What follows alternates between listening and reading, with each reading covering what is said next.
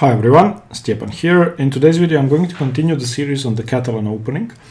Uh, we are still covering the open Catalan and out of the nine moves that we are going to cover in the separate videos today we are going to go over bishop e7 which is one of the rarest lines and the move that not even Boris Avrukh mentions and if, if you've ever studied the Catalan, Boris Avrukh is one of the biggest theoretical experts uh, and he doesn't devote a chapter to this move and he does devote uh, a chapter to all other moves. I still wanted to include this move because it's very tricky for white to play against and black has a very simple plan he could go for.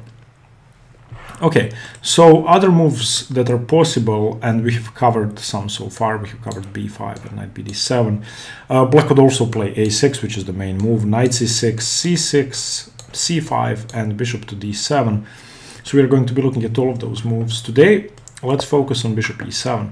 So what's the idea of bishop e7? Well, firstly, the Catalan is an opening in which black often tries to keep and keeps his extra c4 pawn after d4, knight f6, c4, e6, knight f3, d5. Again, other move orders are possible. Watch the introductory video if you, if you haven't. And after g3, dc4. And now white continues with bishop to g2, uh, simply leaving this pawn b, seeing what black is going to do. When black plays bishop e7, he is saying, well, I'm going to develop my king side sensibly. I'm not going to run into any trouble with my king. If you want to, you can spend some time and take the pawn.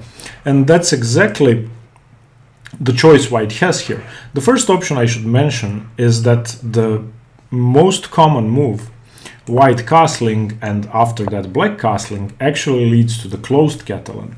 Closed Catalans are positions in which black doesn't take the pawn, which may seem confusing at the moment. I'm going to show you what I'm talking about.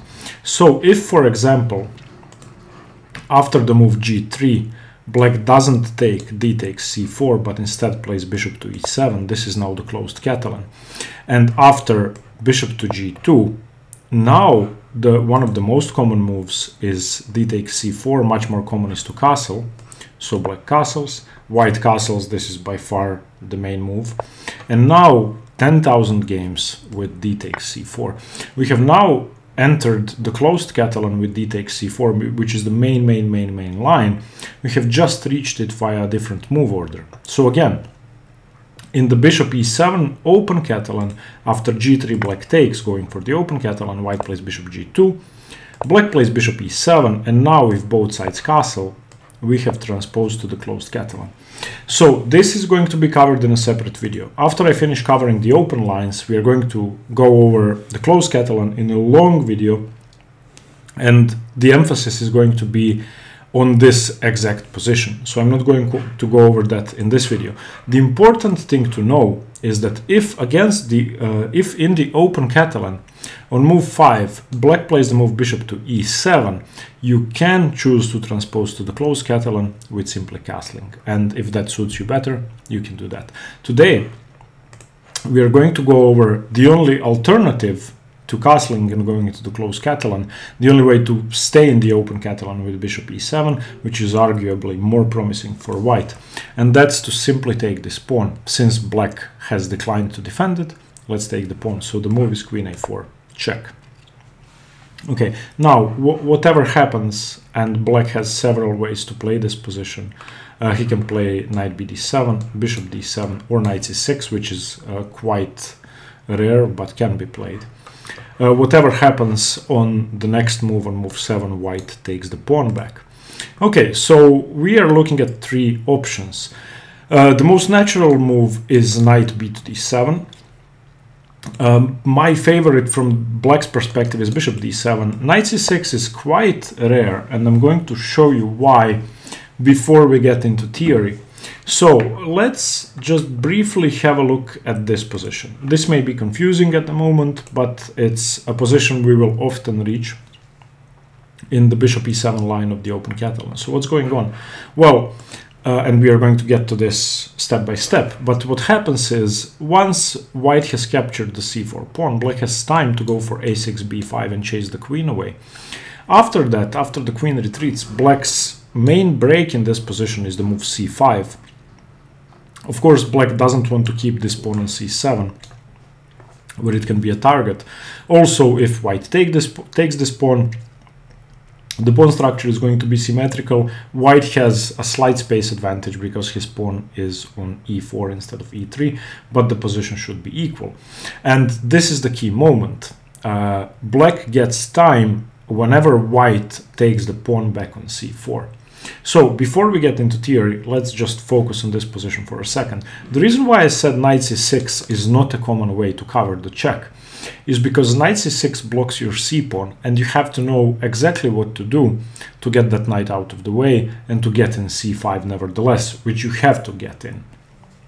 So a couple of options in this position, and again, we are going to get to this, but let's just focus on it for the moment.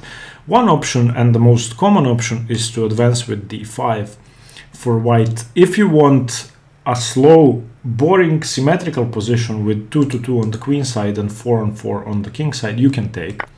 It's not a mistake, it's just not the most active move. And after knight takes, you can retreat the queen back to e2. Now the problem is the knight has the b3 square, black has very nice bishops, the pawn structure is symmetrical, black has more space on the queen side, and it should be equal. The other option is to advance with d5, and here we reach the critical uh, position I would like to discuss.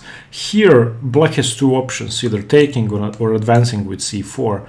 Much more common is to take on, on d5 and uh, advancing with c4 gives black a very nice pawn majority on the queen side. So this is, in a way, a critical position you will often reach in bishop e7 lines. What you have to remember is that these two pawns are most likely going to be traded off and white is going to have a 4 to 3 on the king side.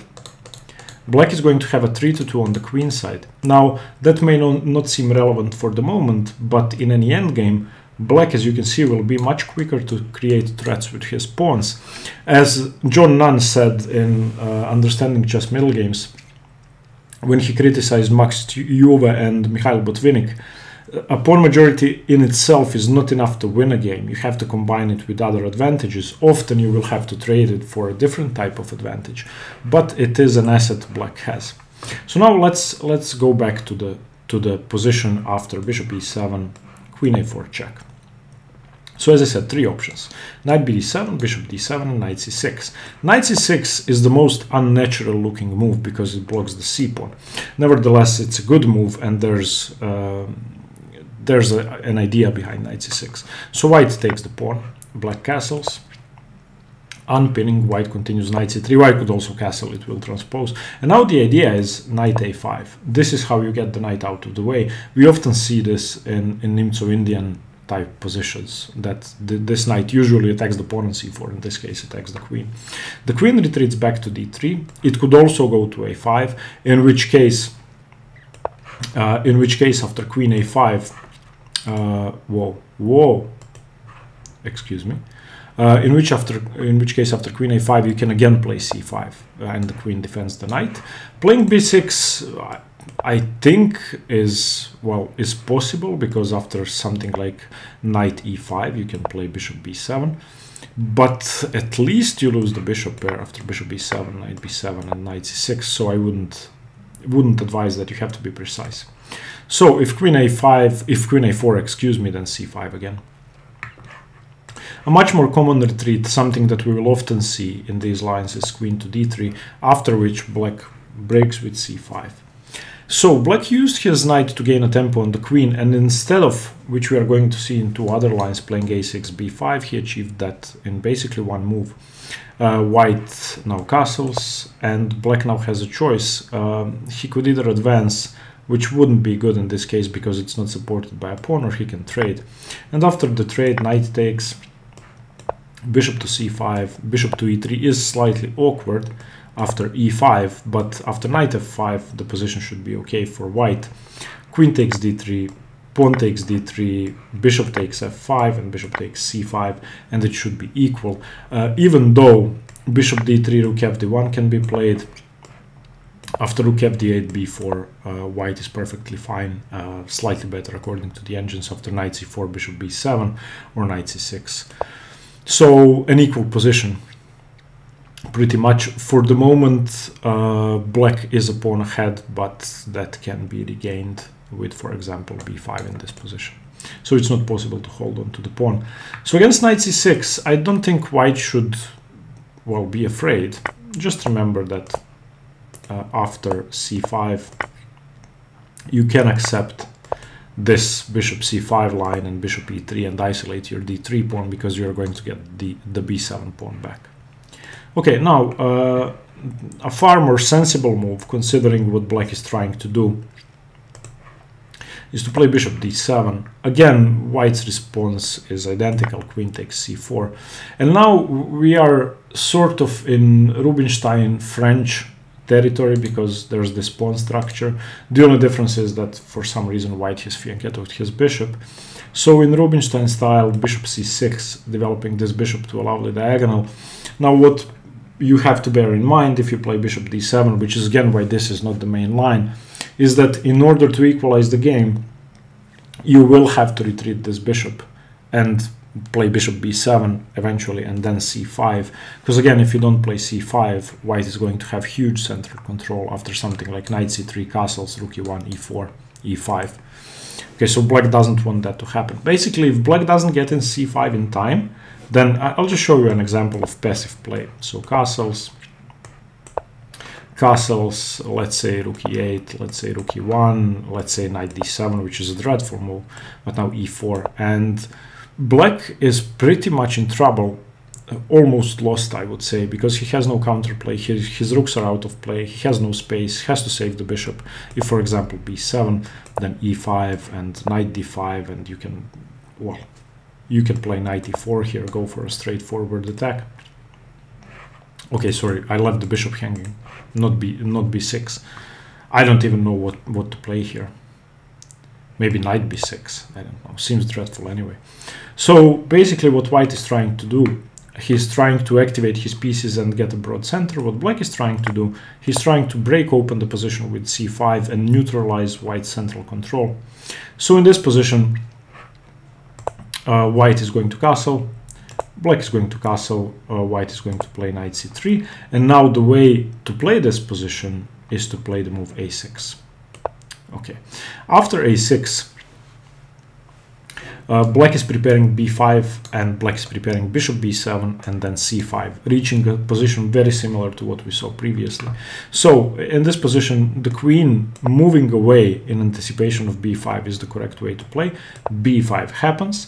And now it's important not to allow this knight to be chased away to d1, b1, because a4 is covered, e4 is covered. If b4 is played, then you basically lose, so you have to play a3.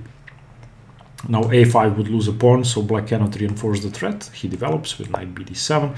And after rook d1, we have transposed to the position we saw previously. Bishop b7, e4, c5. And now again, we have this choice of playing d5 and taking. If d5, black again has a choice of playing c4 or, or playing uh, or playing d takes e takes d, excuse me. So now let's have a look at the two options.